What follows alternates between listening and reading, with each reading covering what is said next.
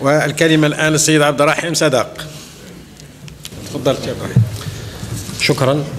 سيد الرئيس السادة الوزراء أخواتي إخواني النواب الطاقم الصحفي السلام عليكم الزلفلون سأتناول في مداخلتي هذه حسابات التخصيص الخاص كاس وفقا للملاحظات التي أدرجها مجلس المحاسبة في تقريره التمهيدي الخاص بقانون تسوية الميزانية لسنة 2010 هذه الملاحظات التي ندعو من خلالها الحكومة إلى تقديم لنا كممثلين للشعب توضيحات مفصلة لهذه المخالفات التي سأذكرها والمتمثلة فيما يلي. تسجيل خاطئ لأرصدة بعض حسابات التخصيص الخاص إذ كشفت مراقبة محاسبة واستغلال الموازنة العامة التي حددتها الوكالة المركزية المحاسبية للخزينة ACCT في تاريخ 31 ديسمبر لعدة سنوات متتالية لا سيما 2008 و2010 وجود تباينات في الموازنات الافتتاحية وأرصدة نهاية السنة لبعض حسابات التخصيص الخاص. ذلك ما يؤثر على دقة وصحة الأرصدة ويفسح المجال للتشكيك في مدى الامتثال لمبادئ المحاسبة العمومية ولإحكام القانون رقم 1784 المؤرخ في 7 يوليو 1984 المتعلق بقوانين المالية المعدل والمتمم لا سيما المواد 55 و 77 منه.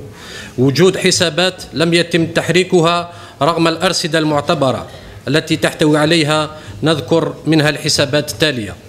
حساب رقم 302 106 صندوق الشراكة بمبلغ 5.215 مليار دينار.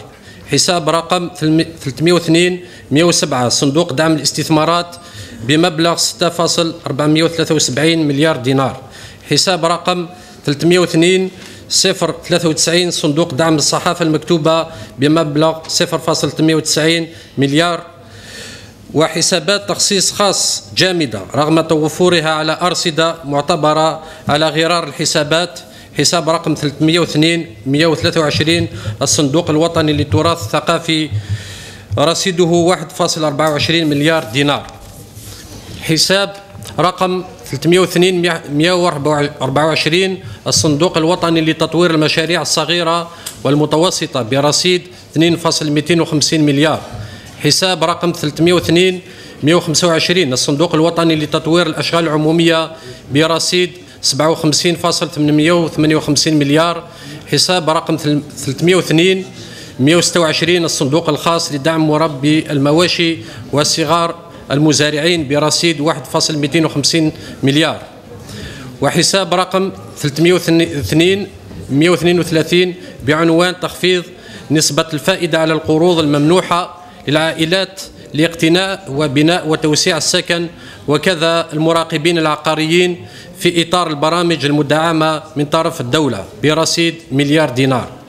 التأخر في وضع النصوص التطبيقية للإطار القانوني المسير لحسابات التخصيص الخاص القوانين المالية مما يؤدي إلى تأخير كبير في تنفيذ المشاريع والأهداف المسطرة لهذه الحسابات على سبيل المثال الحساب رقم 302 126 الذي تم فتحه بموجب الأمر رقم 0208 المؤرخ في 24 جويلية 2008 والمتضمن قانون المالية التكميلي 2008 بينما تم إدخال النصوص التطبيقية في 17 ماي 2010 الوزن المعتبر لبنية حسابات التخصيص الخاص بالمقارنة مع الميزانية العامة للدولة وقد سجل تراجع حصة حسابات التخصيص الخاص في ميزانية التجهيز. بعدما كانت 96% في 2009 انتقلت إلى 89% كما أن تنفيذ المشاريع والبرامج المتعلقة بميزانية التجهيز بواسطة حسابات التخصيص الخاص انتهك لمبدأ رصد الاعتمادات والطابع الاستثنائي الذي تكتسيه هذه الحسابات. الموارد الخاصة التي تحتويه تحتويها حسابات التخصيص الخاص بعيدة كل البعد عن تحقيق السقف المتوقع أي 43.47% مع تجاهل الشروط القانونية والتنظيمية.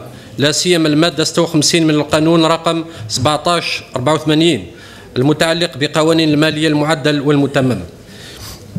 يستوجب هذا الوضع إعادة النظر في شروط تسيير حسابات التخصيص الخاص وتعزيز الإطار التنظيمي لهذا للتمكن من إضفاء الصرامة في تسييرها وشكرا.